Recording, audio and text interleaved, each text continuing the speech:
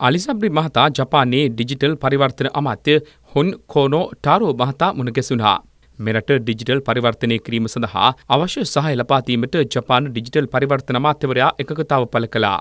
අමාත්‍ය අලි සබ්රි මහතා මෙහිදී කියා සිටියේ ශ්‍රී ලංකාවේ ආයෝජන සිදු කිරීමට විශාල අවකාශයක් ඇති බවයි.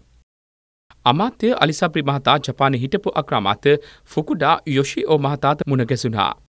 ඉන් අනතුරුව අලිසබ්‍රි මහතා ජයිකා ආයතනයේ ජේෂ්ඨ උපසභාපති මේසකි මහත්මියද හමු වුණා. ශ්‍රී ලංකාවේ ණය ප්‍රතිව්‍යුහගත කරන වැඩසටහනට ජපානයේ ලබා දෙන සහායට අමාත්‍යවරයා මෙහිදී ස්තුතිය පළ කළා.